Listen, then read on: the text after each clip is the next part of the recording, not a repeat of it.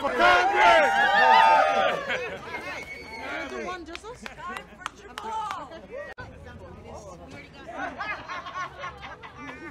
I support Jamaal Bowman because Jamaal brings a vision for a thriving New York and a thriving country and a thriving world that's rooted in profoundly human values that we share and a commitment to fight for fair housing, for a clean environment, for just education, and for an end to mass incarceration, for rights for immigrants, for the whole array of things that our communities need to thrive.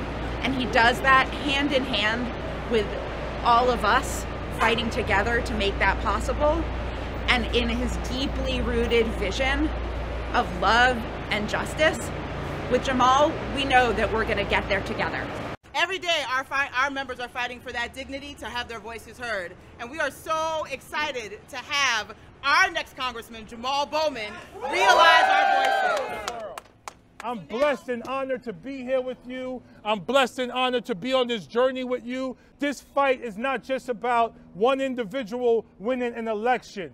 This is about growing our progressive grassroots movement rooted in humanity. And it is my honor, it is my privilege to be on this journey with all of you. I love you. Thank you so much.